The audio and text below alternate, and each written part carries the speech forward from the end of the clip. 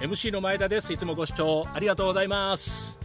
えー、ゴールデンウィーク前半雨雨で来てましたけれども今日はね、えー、5月の2日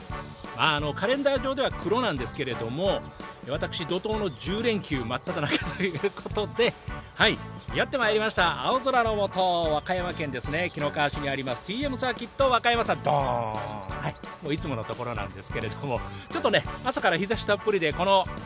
はい、パーカーもちょっと暑い時期になってきたんで、えー、この後はまたこちらの T シャツにチェンジということになりそうですね。はい。自称横もワークスの私前田やってまいりました。ダダーン。BD11 完成いたしました。あの本当はねメカ積み編の動画を撮るつもりでいたんですけれどももうあの組み立てで結構ね 時間を割いてしまいまして、えー、もうパパパッと積んじゃいました。こんな感じでやっております現在。うん。あのこれスピキン仕様です。スピキンの TC2 クラスというのは、えー、モーターアンプそれからバッテリーが指定あとギア比ももう指定となってまして、えー、これ全部スピキン TC2 クラスに出られる仕様になっております。であのー、5月の後半にこの TM サーキット和歌山さんで、えー、スピキン第2ラウンドが開催予定となっておりまして今日もねお休みの方がえー、練習に来られているようですのでもうね、えー、レースが近づいてくるにつれてどんどんこのスピキン熱が高まってくるということで、まあ、私はあのレースの方にこれで出るというわけではないんですけれども、えー、スピキンに参戦予定の方この TC2 クラスでどれぐらいのタイムが出るのかなというのもですねちょっと参考にしていただけることになればななんていうふうに思っておりましてまあ私に負けてるようではあかんのちゃうみたいなこととかね いろいろ思いながら、まあ、何はともあれもう今回これシェイクダウン。まだねほら。全く走ってないサラピン状態ですから。壊さないように、はい、今日一日楽しく走らせたいと思います。さあそれではですねいよいよ BD11 シェイクダウンいきたいと思います。はい。こいつです。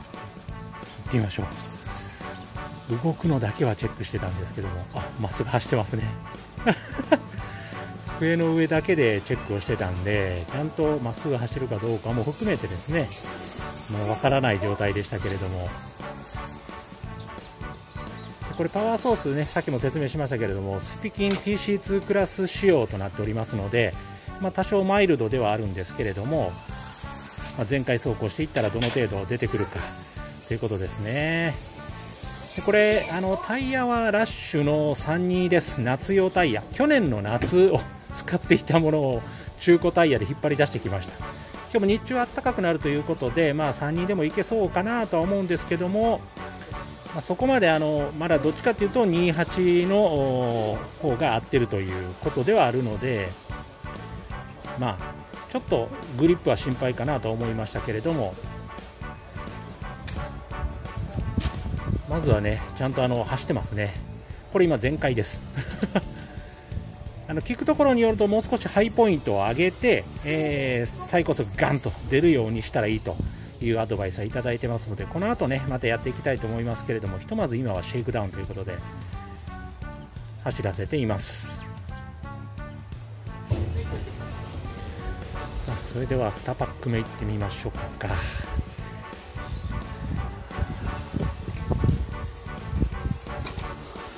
アライメント調査をいろいろと調査ちゃうアライメント調整をいろいろとやってみました。ステアリングの切れ角を増やしたのと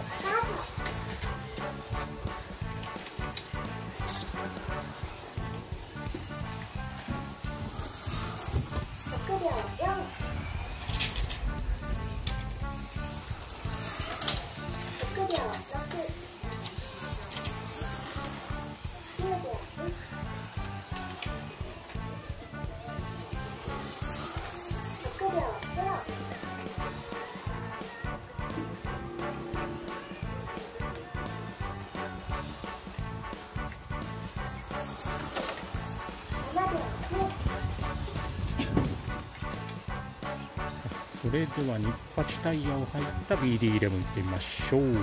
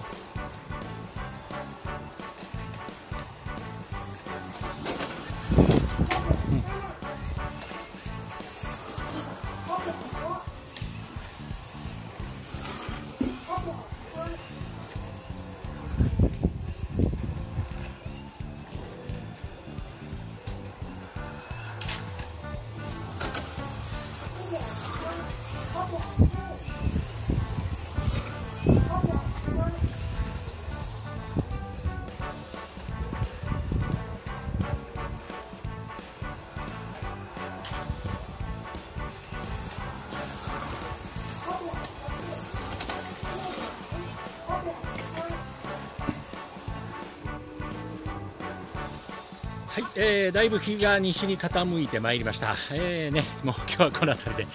えー、終了にしようかなというところになりました。まあ、あの本数的にはそんなにたくさん走らしてはいないんですけれども、それでも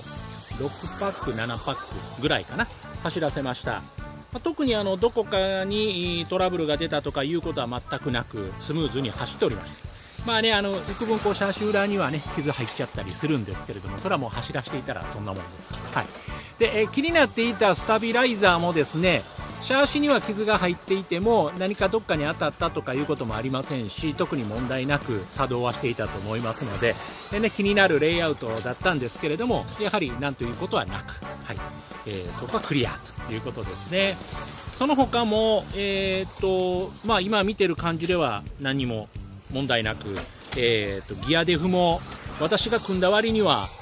オイル漏れ起こしてないなっていうところで、はい、ベルトがあの汚れてることもありませんので、はい、とってもいいんじゃないでしょうか。はいえー、でタイム的にはですね今回16秒3まで行きました。私 であの他にエキスパートの方がですねこれちょっとあの試乗という形で走らせてみはったんですけどもそれで16秒1だったかな、えー、ところまでは行きました。15秒台は出てなかったかなというところなんですが、まあ、その時にあのーまあ、もちろんねタイヤもあのそんなにフルグリップという感じではもうなかったですしいろいろあるんですけれどもただ